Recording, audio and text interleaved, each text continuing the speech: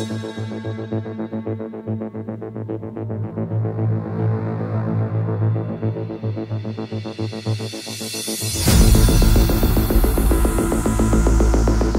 and welcome back.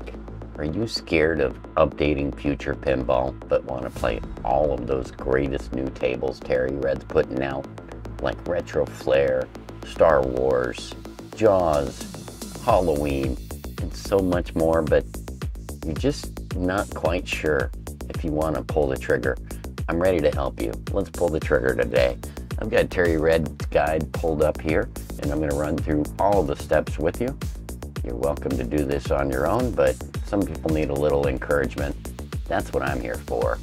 So I've scrolled down and I've gone to table requirements. All these links will also be in the video description so you can all have an all in one shop. The first one we're going to do is the Visual C Plus updates. There's an all-in-one distribution for this, so we're going to click on the link, hit download, choose the server, and grab this file. So now that you've downloaded the file, go ahead and go to where you downloaded the file and open it up. We're gonna unzip all of these files and extract them somewhere where we can manage them. For me, I'm just gonna go into my vPinball directory, create a temp folder, and throw them in there.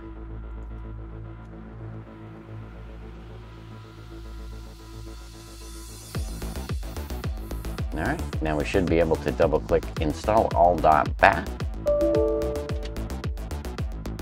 I already have a lot of these updates, but this is going to run through all of the visual uh, runtime packages one by one. And if you do not have one, you'll get prompted to install it on your computer.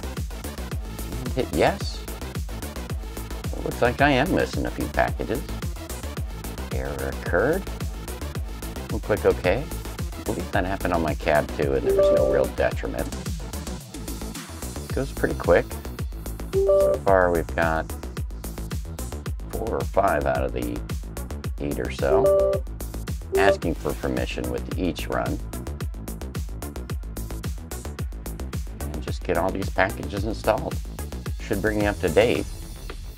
This could solve another problem you're having if you didn't have the runtime installed for something and you're getting a weird error. You never know.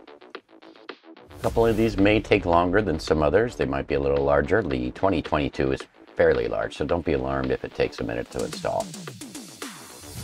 So we've completed all of the runs for the distributable. So now we're gonna go future pinball required 1.5-3.53 or higher is required.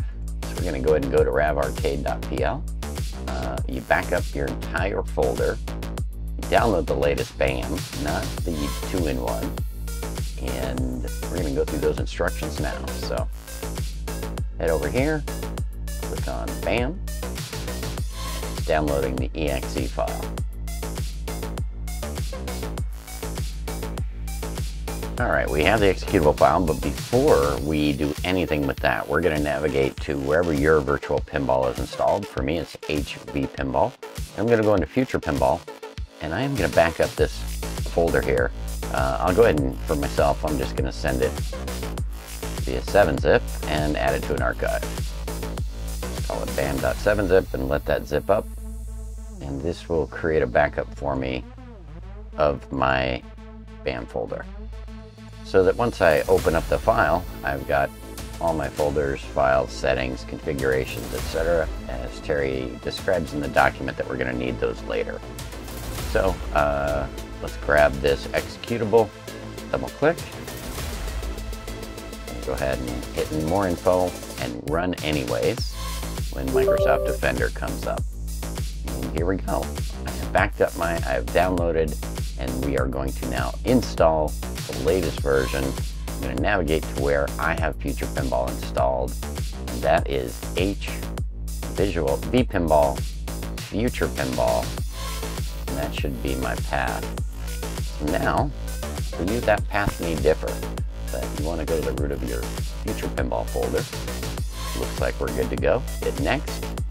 Said we'll create the program shortcuts in the following step menu. That's fine. And install. Now, before we launch BAM, Terry says copy your BAM config, reality.dat, and default.cfg file from your backup folder and replace them in your BAM folder. So we're going to navigate over here to Future Pinball. We're going to open up that zip file that I created earlier. And I'm just going to look for those three files. First one he said was reality.dat. Second one he said was default.config, which is there. And we also need bam.config. So these three files here, we're going to copy and move them into our BAM folder. So uh, do that however your program does it. 7-zip's a little odd in that regard, but here we go. Future Pinball, BAM, click OK. And yes, I want to overwrite the existing files. You do this after the upgrade, ladies and gentlemen, because it puts your configuration settings back into the system. So now that we've done that, Terry has some configuration files that you I actually started with. Um, and the other three files we just discussed. There's a link later in the guide for that, and maybe we'll discover uh, that together as well.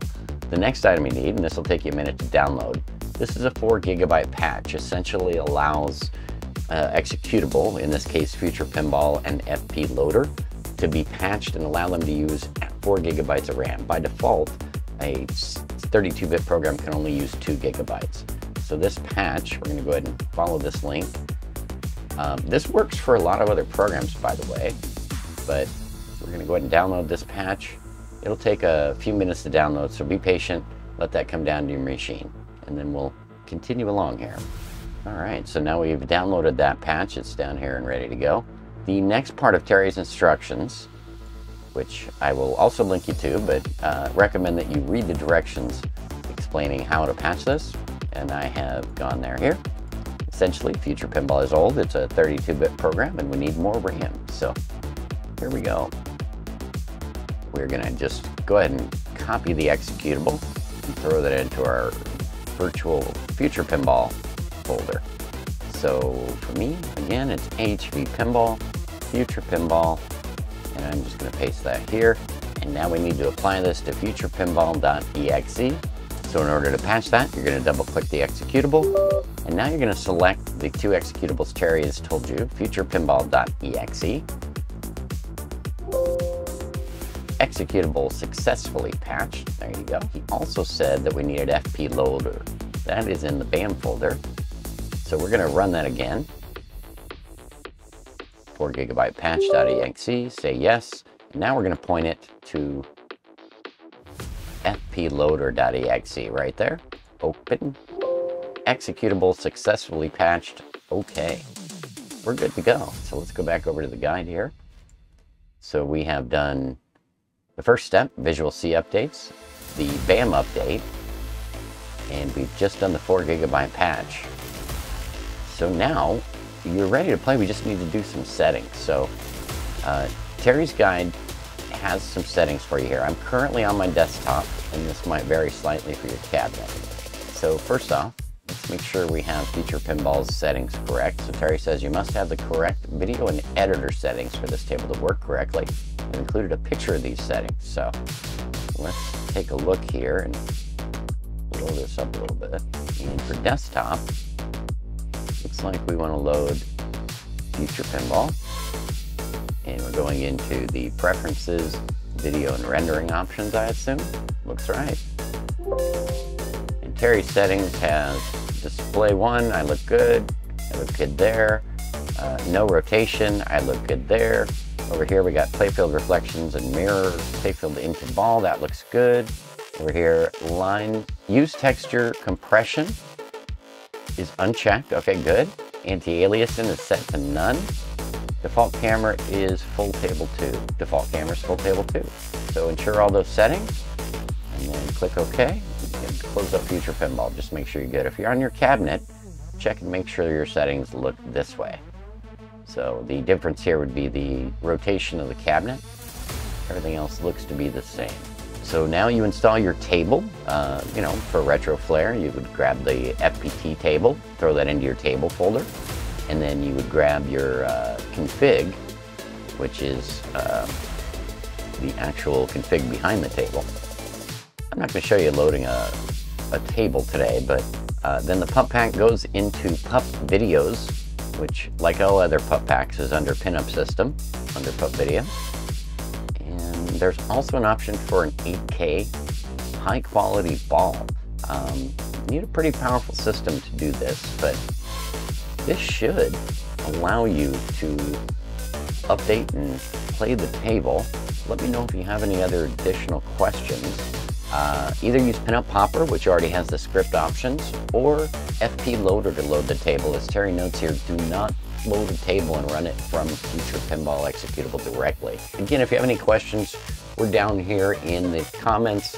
I'm always reading, and we are here to help. There's instructions also in here on how to enable some more advanced features, how to mess with your PhysX profiles, which allow things like stronger flipper strength and other things like that. These are all in the scripts, and Terry walks you through that here. If anybody needs a video for that, let me know. We can always look into that. I hope you've enjoyed this, and again, we are here to help, so leave a like on the video. It drives more people to find our content, and uh, we really appreciate it here. Thanks for your time, and hope you have a great day.